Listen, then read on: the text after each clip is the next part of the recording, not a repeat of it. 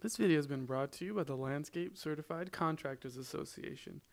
Due to the membership support, we're able to bring content to each and every one of you.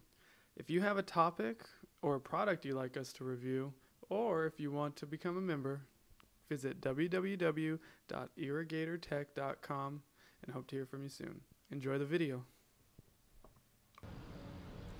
We have done many videos on Griswold, but I want to be able to show you a Griswold valve that's probably about 35 years old to 40 years old.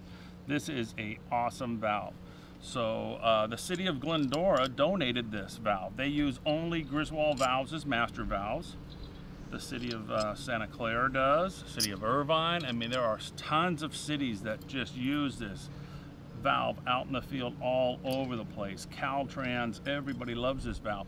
As you can see, I got a heavy duty bonnet on it, all brass. Look at it. I mean, this is 35 years old. They took it out and it's still shiny in the inside. I mean, uh, look at the bolts are still there. I can take it apart. The spring is still working there. And then this has a little pin in it and it just got worn out. And as you can see, the whole diaphragm came apart.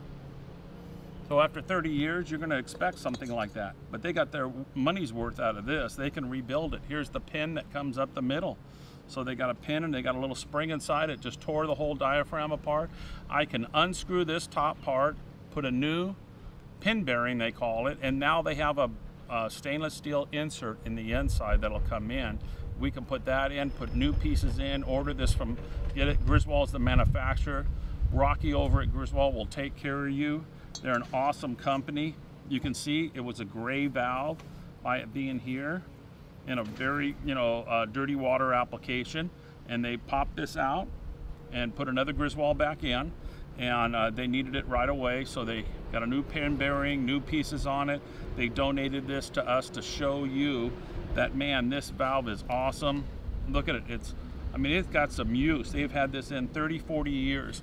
All I've got to do is chip away some of this rust, clean it up, take an open sand cloth and clean the whole inside here of it. It'll go smooth again, a new diaphragm assembly, right back in again, a little WD-40, a little grease on the screws, everything will be nice and shiny.